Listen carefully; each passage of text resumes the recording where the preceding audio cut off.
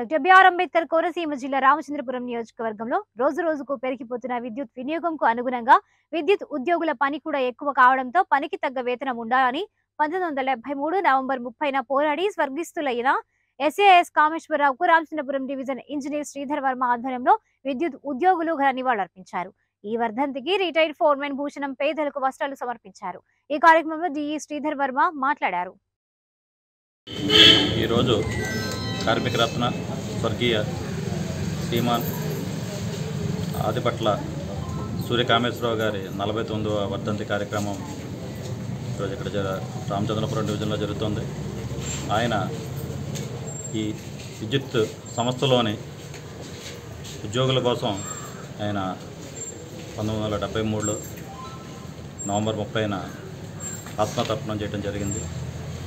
వారి సంస్మరణార్థం ప్రతి సంవత్సరం కూడా మన ఉభయ రాష్ట్రాల్లో కూడా ప్రతి విద్యుత్ సంస్థలోని ప్రతి ఆఫీసులో కూడా ఈ కార్యక్రమం ఘనంగా జరుపుకుంటూ ఆయనకి ఘన నివాళులు అర్పిస్తూ ఉంటారు.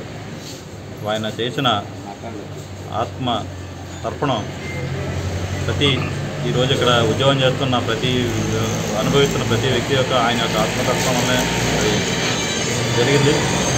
వారిని ఘనంగా నివాళులు అర్పించుకుంటూ వారు వారు ఏదైతే బాటలో నడిచారో అలాగే అవసరం వచ్చినప్పుడు అందరూ కూడా ఐక్యమత్యంగా పనిచేసి ఆయనకి మేము విజయం సాధించినప్పుడు ఆయన నిజమైన నివాళులని ఈ సందర్భంగా నేను తెలియజేసుకున్నాను. ఈరోజు ఈ కార్యక్రమాన్ని ఇక్కడ ఇంత ఘనంగా ఏర్పాటు చేసిన చేసి అన్నదాన కార్యక్రమం పేదలకు మరియు ఈ వస్త్రదాన కార్యక్రమం చేస్తున్న మా డివిజన్లోని ప్రతి ఉద్యోగికి కూడా ధన్యవాదాలు తెలియజేస్తున్నాను. ఈరోజు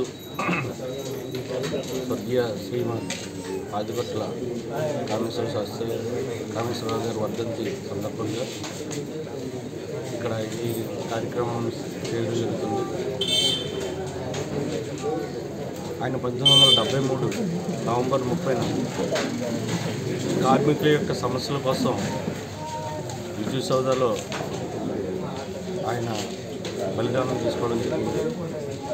సమస్యలు సాల్వ్ సాల్వ్ కోసం ఆయన ప్రాణత్యాగానికి కూడా సిద్ధపడి ప్రాణత్యాగం చేశారు. ఆయన చేసిన ప్రాణత్యాగం వల్ల వెంటనే మేనేజ్మెంట్ స్పందించి కార్మిక సమస్యలన్నీ కూడా సాల్వ్ చేసి ఈ ఏ రివిజన్ అనే దాన్ని ఆయన కోరుకు కోరుకున్న విధంగా చేయడం జరిగింది. అప్పటి నుంచి కూడా అంతకుముందు ఉన్న చాలీ చాలీ జీతాలతో ఉండే విద్యుత్ కార్మికులు అండ్ ఎంప్లాయీస్ కూడా మంచి జీతాలు తీసుకోవడానికి ముఖ్య కారకుడు కామేశ్వరరావు గారు. అప్పటి నుంచి కూడా ఈ వర్ధంతి కార్యక్రమాన్ని ఉభయ రాష్ట్రాల్లో కార్యాలయంలో కూడా ఘనంగా జరుపుకుని ఆయనకి నివాళులు అర్పిస్తూ ఆయన బాటలో అందరూ కూడా విద్యుత్ కార్మికులు నడుచుకుని ఐక్యతంగా ఉండాలని ఈ కార్యక్రమం చేయడం జరుగుతుంది.